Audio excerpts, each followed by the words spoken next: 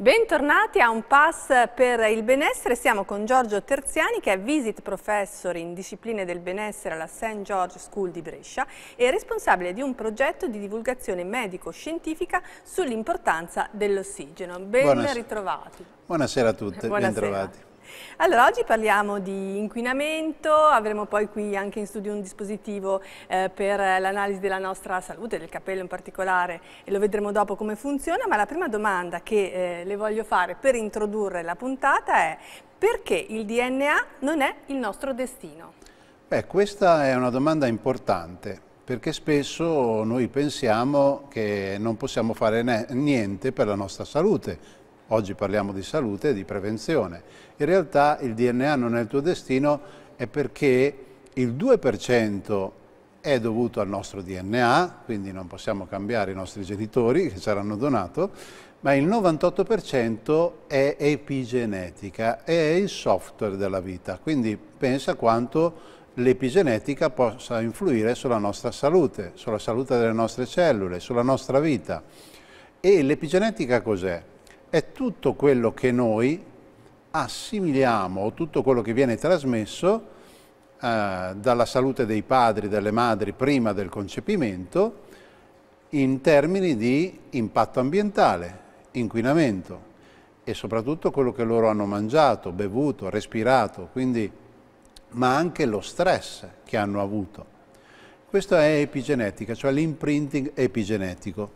Quindi dovremmo chiederci cosa stiamo facendo oggi per essere dove vogliamo essere domani e in termini di modo di pensare, dell'ambiente dove stiamo vivendo, quello che stiamo mangiando. Se noi andiamo avanti possiamo vedere che eh, la domanda che faccio da sempre è questa. Quando è l'ultima volta che hai sentito parlare di inquinamento? Perché spesso ci dicono sempre, ah, mangia bene, devi bere bene, tutto quello che vogliamo, ma non teniamo mai presente l'impatto che l'inquinamento ha sulla nostra salute. Se questa è la nostra realtà, lo stress, la depressione, la farmacodipendenza, l'affaticamento, l'anoressia, l'obesità e a cosa sono dovuti questi, queste, questi, queste cose? Soprattutto dall'impatto ambientale e dal nostro stile di vita.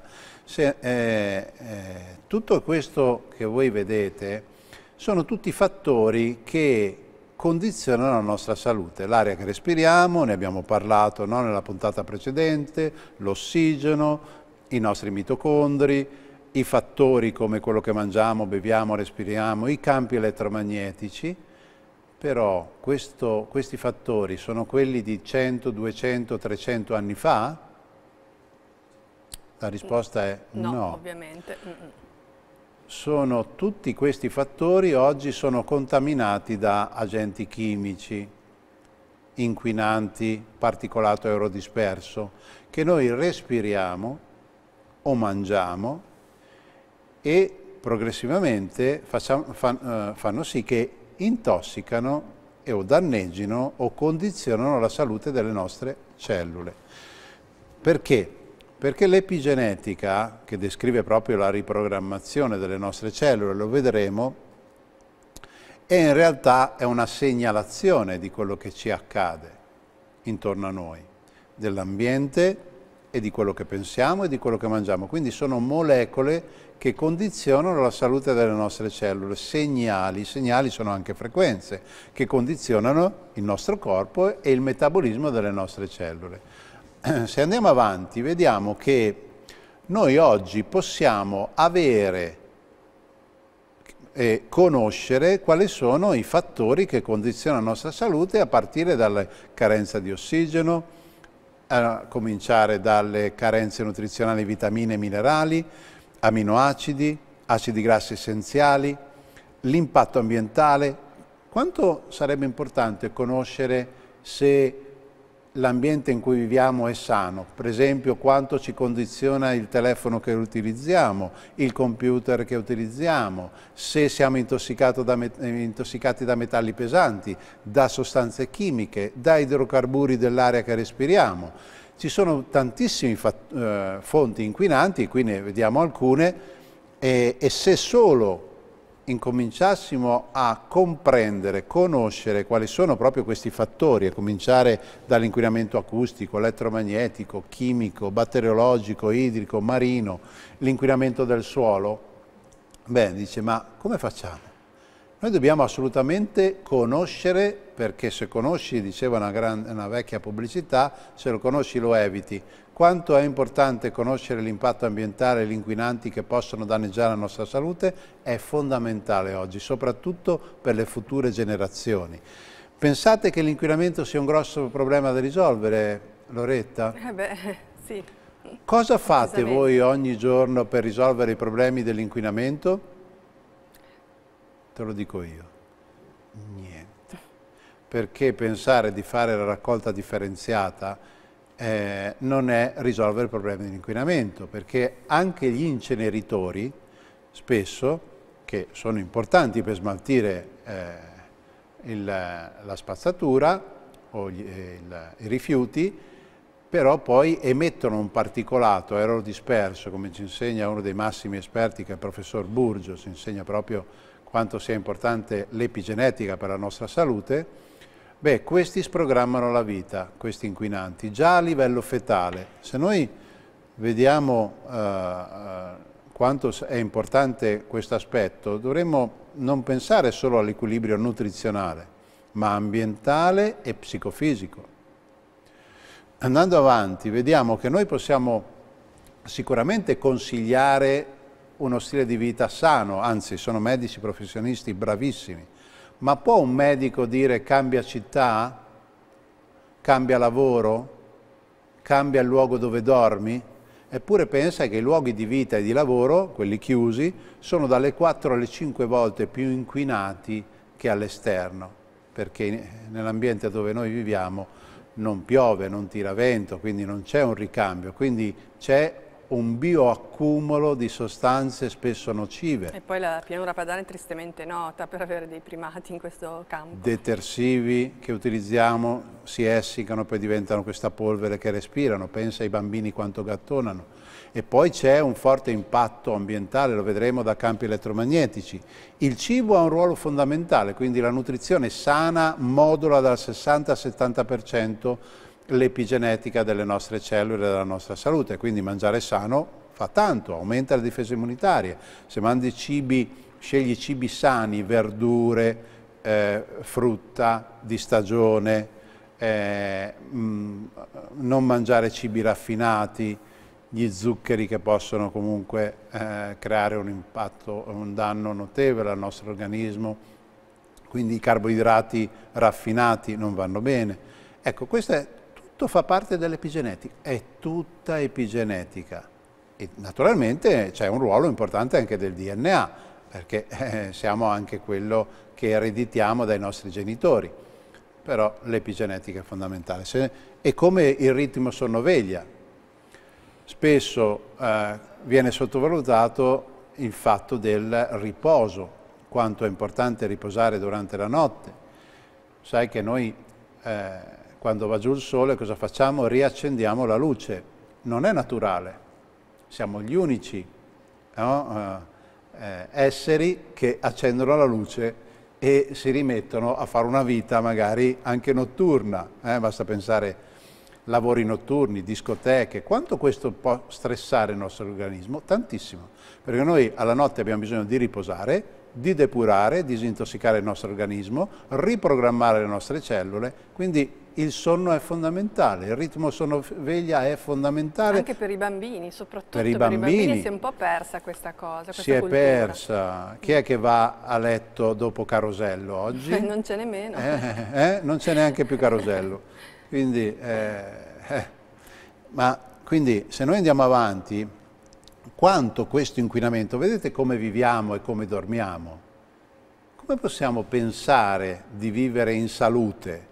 se noi poi anche mangiamo male, non abbiamo un sistema antiossidante appropriato per combattere lo stress ossidativo causato di tutti questi fattori, ci mancano proprio i nutrienti essenziali, la capacità antiossidante di contrastare gli eccessi radicali liberi, l'ossigenazione dei nostri tessuti. Manca anche consapevolezza, perché adesso lei ci sta spiegando queste cose che sono molto chiare, ma chi di noi va a pensare quando è nel suo letto, al buio, nel silenzio, eh, uno pensa di essere tranquillo, in pace, no? a posto, invece vediamo da questa slide quante interferenze ci sono sì. mm, con il nostro benessere, quindi l'inquinamento eh, i vari tipi di inquinamento che vediamo in questa slide. Assolutamente, ma se andiamo avanti, eh, poi dopo ci ritroviamo al fatto che contiamo, facciamo le statistiche sulla mortalità, ma dobbiamo fare statistica sulla qualità della vita, quindi aggiungere anni alla vita e quegli anni devono essere di qualità, come correre una, una maratona anche camminando a 80 anni, fare una rampa di scale, no? quindi invecchiare in salute. E da cosa dipende? Da quello che noi facciamo durante la nostra vita. Quindi l'obiettivo della vecchiaia è un, come un, eh, mettere eh, i, i, soldi in banca. Noi siamo abituati solo a prenderli, magari non ce li mettiamo mai, e poi finisce eh, la nostra disponibilità. La salute è uguale, quindi quanto metti nella tua banca della salute oggi in termini di rimetilazione del DNA, che è l'aspettativa di vita, la lunghezza dei telomeri determina l'aspettativa di vita, questo viene trasmesso dai nostri genitori anche come telomerasi, dipende dallo stress, solite cose, alcol, fumo passivo. Vuoi un bambino? Non devi fumare. Devi stare molto attento perché il fumo condiziona pesantemente la salute poi delle future generazioni e dei tuoi figli quindi bisogna stare attenti. E anche la fertilità stessa in realtà. La fertilità, Oggi gli inquinanti. Oggi ci sono molti più, più problemi di infertilità. Brava Loretta, qui è fondamentale, pensa che la Siro dice che stiamo raggiungendo il 60-70% di infertilità a livello europeo, Italia al primo posto dovuta a impatto ambientale. Sul liquido seminale mh, è stato dimostrato che dalla Siro, dal professor Luigi Montano, uno dei più grandi esperti che abbiamo, Eco Food Fertility, ha dimostrato proprio che nel liquido seminale maschile già a 16 anni pieno di metalli pesanti, inquinamento, idrocarburi e questo sta eh, distruggendo la possibilità di essere fertili perché danneggia anche i mitocondri, quindi come abbiamo detto nella puntata precedente. L'omocisteina, che è un biomarker fondamentale del rischio cardiovascolare non solo, viene poco consigliato Eppure è fondamentale tenere sotto controllo l'omocisteina. Ed è un valore che si può avere dagli esami del sangue? Sì, è un esame del sangue, è un biomarker, il professor Mauro Miceli è uno dei più grandi esperti in questo settore e ci dice attenzione, eh, ogni punto 6, eh, sopra 6 raddoppia il rischio cardiovascolare. Tenerlo sempre sotto 10 questo valore dell'omocisteina come il colesterolo ossidato, quindi l'LDL ossidate, l'emoglobina glicata, sono esami molto importanti per la nostra salute. Ma anche lì, quali sono le cause? Ecco perché bisognerebbe fare degli esami anche proprio per evitare... Eh certo, perché lì si vede già l'effetto, no? ma non esatto. si capisce esatto. qual è stata la causa, quale fattore per esempio inquinante ha inciso su Infatti, questo valore alto nel sangue. Esatto Loretta, infatti quello che, di, di, che vedevamo prima era proprio questa possibilità di regolare l'omocisteina attraverso un apporto giusto di nutrienti come vitamine, eh, aminoacidi come l'S-rosimetionina, l'apporto di ossigeno, il nutraceutico self-food è fondamentale per modulare, lo abbiamo dimostrato con la ricerca scientifica che siamo riusciti a abbassare l'omocisteina in questi mh, pazienti con omocisteina alta, aumentare il glutatione che è un potentissimo antiossidante e riattivare i mitocondri avanti, quindi lavoriamo sul sistema immunitario, eh? avanti, che non è solo dovuto a un attacco dei, dai virus, ma da tanti fattori, stress, inquinamento, eh? e i difetti genetici. proprio da tutte le cose che ci ha spiegato lei, in primis l'inquinamento di cui ci sta parlando oggi. Sì, eh, quindi cos'è l'epigenetica? Che è questa nuova branca della medicina, poi nuova è tutto quello che noi dicevamo, no? attenzione, tu sai quello che mangi, che bevi, che respiri, l'abbiamo sempre saputo sì. questo. Beh, l'epigenetica però questo eh, sprogramma la vita già a livello fetale, quindi è la riprogrammazione fisiologica che avviene nelle cellule senza modificare il DNA, certo. è il rimodellamento, il rimodellamento della cromatina. e che viene a livello istonico, quindi questi stoni che eh, eh, attaccati dagli agenti tossici inquinanti sbloccano lo srotolamento del DNA e quindi creano un'informazione sbagliata su quello che dovrebbero fare le cellule. Ecco perché poi c'è infiammazione, infiammazione cronica e malattia. In poche parole noi siamo predisposti geneticamente perché abbiamo ereditato certi geni a certe malattie ma non è detto che poi le sviluppiamo, soprattutto se abbiamo uno stile di vita corretto e abbiamo e assumiamo i minerali, le vitamine, tutte le sostanze che ci servono nel modo corretto, giusto? Sì, eh, in realtà è proprio così perché l'epigenetica è reversibile. ecco perché il DNA non è il tuo destino, però è chiaro che tutti questi fattori determinano un condizionamento eh, molto eh, fondamentale per la salute delle nostre cellule. Noi siamo anche reali rischi congeniti quando nasciamo, linea materna, disfunzione mitocondriale, come parlavamo nella, nella settimana, nella, nella, puntata scorsa, la disfunzione mitocondriale, la costituzione e poi naturalmente certe predisposizioni anche genetiche, è chiaro. Avanti. Ecco perché è importante la salute dei padri e delle madri prima del concepimento, perché le cellule sane si moltiplicano in maniera sana, si differenziano in maniera sana e mettiamo al mondo bambini sani. Ma guardate la statistica, 500.000 morti premature in Europa e l'Italia è al primo posto, sempre dovuto all'inquinamento. È un allarme sociale e in aumento. Avanti? Quindi dobbiamo tutelare la vita, se andiamo avanti vediamo che 467.000 morti l'anno per inquinamento, quindi pensate eh, i danni che stiamo facendo alle future generazioni. Guardate, questa è la fotografia che non vogliamo assolutamente vedere, facciamo finta di nulla, però pensate cosa c'è intorno alle nostre città, alle periferie, cosa c'è nelle varie terre dei fuochi, abbiamo oltre 200 terre dei fuochi eh, avanti, Ricordiamo il fumo della sono, sigaretta. Ne abbiamo già parlato, ma cosa sono le terre dei fuochi? Eh? Eh.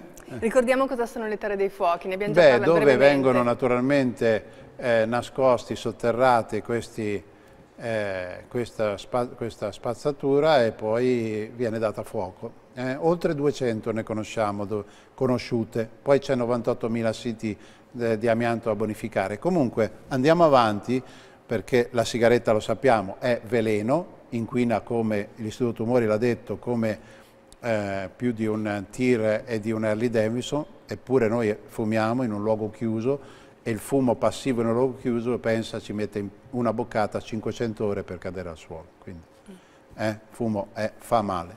Poi sostanze chimiche, andiamo avanti, statistiche di glifosato, lo conosciamo, avanti, eh, tutto il discorso legato alla statistica dei tumori e i fattori di rischio sono sempre i soliti che abbiamo parlato, l'esposizione, il danno cellulare, avanti.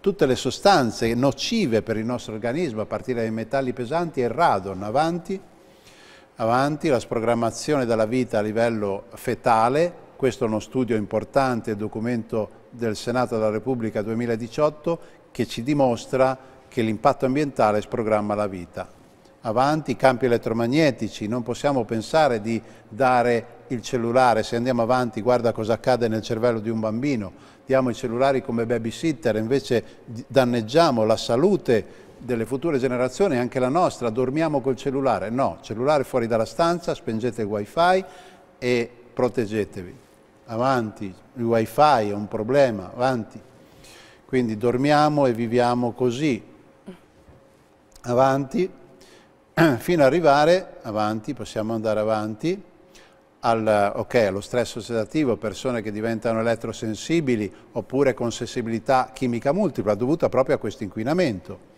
E guarda, non possiamo far vivere i bambini così, in questo ambiente. Avanti, infertilità, lo abbiamo parlato, possiamo andare avanti. Ecco, dobbiamo diventare saggi. Come si fa a diventare saggi? Avanti Dobbiamo fare una medicina personalizzata, predittiva, preventiva, partecipativa, fare cultura, creare cultura nelle scuole, negli asili, nelle famiglie. Dobbiamo fare prevenzione, Loretta. Parleremo ancora di questi temi, eh, se lei è d'accordo, nelle prossime puntate, sì. perché adesso mi dedicherei al nostro dispositivo che Volentieri. Qui, perché ci può dire tante cose sulla nostra salute, ehm, a partire da eh, un'analisi del capello. Sì, mm? guarda, questo è un report, un report di 36 pagine sul sistema immunitario, dove eh, ci dice tutto quello che condiziona il nostro sistema immunitario. Noi abbiamo un software dove inseriamo i dati della persona, quindi nome, cognome, i suoi dati, la data di nascita e eh, eh, cosa facciamo? La mappatura avviene attraverso un dispositivo unico al mondo che si chiama S-Drive, è una tecnologia tedesca e russa e come ci insegna il professor Pier Giorgio Spaggiari, questa tecnologia è in grado di eh, generare uno spettro di frequenza dall'ultravioletto all'infrarosso. Cosa fa? Quando noi mettiamo i dati e poi preleviamo questo biomarker che è il capello della persona, sì. il bulbo del capello, che come sappiamo viene utilizzato per conoscere le sostanze chimiche che intossicano la persona, se fa uso di sostanze stupefacenti, la NASA lo utilizza per valutare la salute eh, della persona, del, degli astronauti, quindi è un biomarker molto affidabile. Cosa facciamo? Mettendo il, i capelli sopra, eh, sopra l'S-Drive, eh, la scansione, noi adesso possiamo fare la scansione, se volete vi faccio vedere come, come funziona, quindi facciamo la scansione in questo modo. Tra l'altro in soli 12 minuti ottiene un sacco di informazioni. Qui abbiamo un donatore che ci ha fornito i suoi capelli e vedremo che sì. ci diranno un sacco di cose su quello che ha fatto recentemente, su quali inquinanti sono venuti a contatto con questa sì, persona. Viene, viene prelevato il capello con le, sì. con le, pinzette dalla zona occipitale, dietro la testa, viene messo nel, nel, nel pozzetto di S-Drive, facciamo questa scansione che eh, genera, che fa generare a S-Drive uno spettro di frequenza dall'ultravioletto all'infrarosso che va in risonanza con le frequenze del bulbo del capello non è niente di nuovo perché noi se andiamo a fare la risonanza magnetica la risonanza va in risonanza con, sì. con gli ioni idrogeno. È un esame quindi come È un esame. L'elettrocardiogramma misura le onde sì. del nostro cuore, quindi è un esame biofisico che va in risonanza quindi con le informazioni di chi? Della persona che ci ha dato i suoi capelli.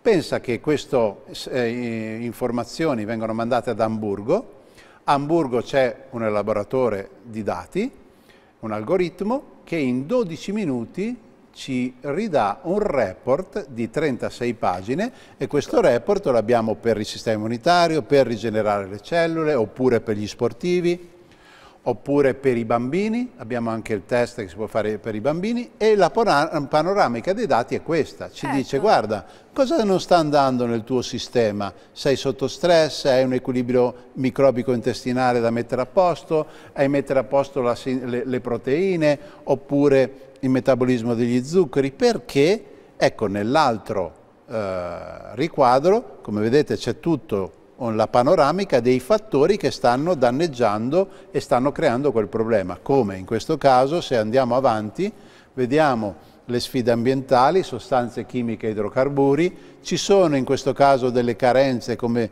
vitamine, biotina, vitamina B12, quindi la rimetilazione del DNA, sistema immunitario.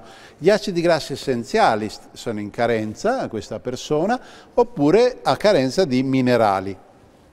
E quindi è una medicina personalizzata, predittiva, integrata, eh, la medicina funzionale, che poi naturalmente il medico che ah, farà l'anamnesi al paziente metterà insieme i dati tra quello che dice S-Drive e il suo protocollo, la sua diagnosi e il suo metodo di lavoro. Tra l'altro il sistema prevede anche um, alcune indicazioni di tipo alimentare, no? sugli alimenti che andrebbero evitati e quelli invece consigliati perché sì. contengono o meno una sostanza. Brava, e, e spesso non si è allergici a quella sostanza, ma spesso si è allergici a, a, per esempio al fatto che, quella, che quel cibo questo non è un esame di allergie o intolleranze alimentari, non mm. c'entra nulla, ma incompatibilità perché magari quei cibi sono coltivati male e noi magari mangiamo certo. delle fragole d'inverno eh, certo. e non va bene, o pomodoro certo. d'inverno non va bene.